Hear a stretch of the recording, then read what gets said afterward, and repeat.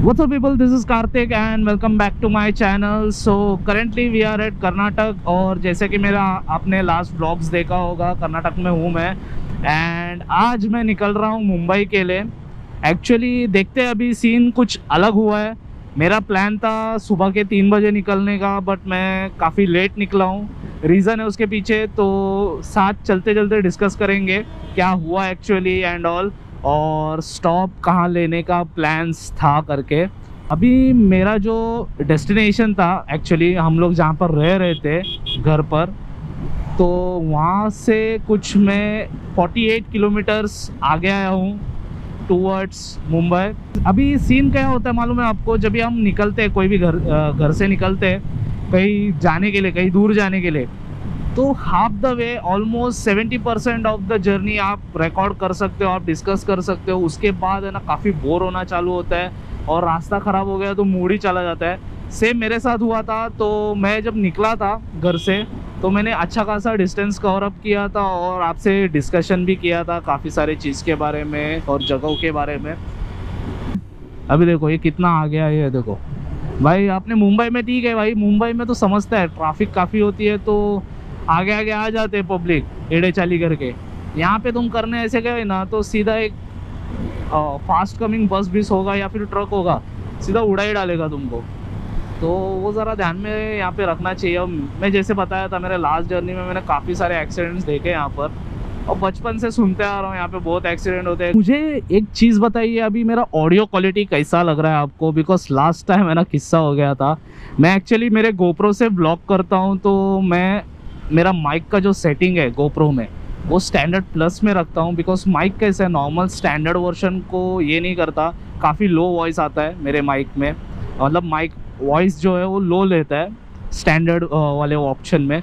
तो हमें standard plus में रखना पड़ता है। आप कोई भी माइक यूज़ करो गोप्रो में चाहे वो रोड हो या फिर जो भी हो माइक अगर आपने नॉर्मल स्टैंडर्ड ऑप्शन में रखा ना तो वॉइस एकदम कम लेता है और स्टैंडर्ड प्लस में बरोबर लेता है। तो मैंने स्टैंडर्ड प्लस में रखा था ऑप्शन बिकॉज़ मैं ब्लॉग भी करता हूँ मेरे गोप्रो में। और सीन ऐसा हुआ कि मैंने डायरेक्ट बिना देखे इस पर सब सेटिंग्स चेंज किया बट मैंने माइक का सेटिंग चेंज नहीं किया, वो स्टैंडर्ड प्लस में ही रह गया और मैंने हेलमेट में माउंट कर दी। और जब मैंने पूरा ब्लॉक किया, मेरा जर्नी जो था सोलो राइड का जर्नी उसमें मैंने ब्लॉक कर रहा था मैं तो जब एडिट करने लिया, तभी देखा, अरे यार, लफड़ा हो गया करके बोला मैंने। बिकॉज़ स्टैंडर्ड प्लस में क्या होता है, ये वाला जो मैं माइक यूज़ कर रहा हूँ, ये फटता है। बिकॉज़ सीन ऐसा है कि एकदम ये माइक मुँह के पास में है तो आवाज़ एकदम ओवर ले लेता है। तो पूरा एकदम फटने जैसा आवाज़ आता है। तो इसमें कैसा है, ये वाला माइक अगर आप यूज़ करोगे तो स्टैंडर्ड वर्जन में यूज़ करना पड़ता है। तो कैसे प्रॉपर आवाज़ आता है, एकदम क्रिस्प एंड क्लियर आता है आवाज़। तो एक ही ब्रिज यहाँ पर बनना बाकी है। बाकी सब कंप्लीट हो चुका है, यू, उड़पी का। अभी जो सब होगा काम चालू है उड़पी के बाहर के साइड में और वो रास्ता तो बहुत बेकार ही वैसे भी। पूरा टू वे है वन वे तो है ही नहीं। We are at मरवेंटे beach just दिखाने के लिए। लास्ट uh, मेरे प्रीवियस जो रोड ट्रिप का ब्लॉग था उसमें तो मैंने कवर अप किया था ये बीच को। uh, काफ़ी अच्छी बीच है बट एक टाइम पहले मतलब अभी तो कुछ नहीं है अभी ऐसा बना है डेवलप किया है। जब ये डेवलप्ड नहीं था ये जगह तो ये जो रास्ता है ना, ये जो रास्ता है नेशनल हाईवे यहाँ पे बीच है और यहाँ पे नदी है। ऐसा सीन था। नदी आपको दिखाता हूँ मैं आगे। अगर दिखा तो इस साइड से नहीं दिखेगा नॉर्मली बिकॉज़ ये टू लेन का कर दिया ना उन लोगों ने।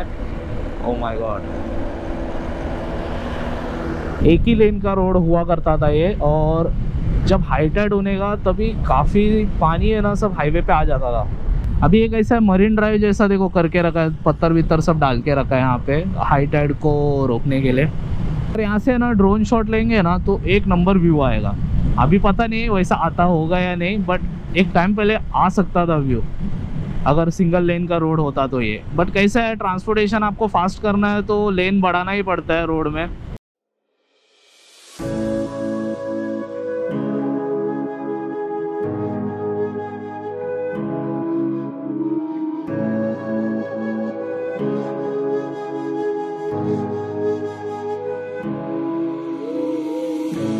silence fades into the night. Coyotes sing at the moonlight. These open highways are calling our name And now it's time for us to escape.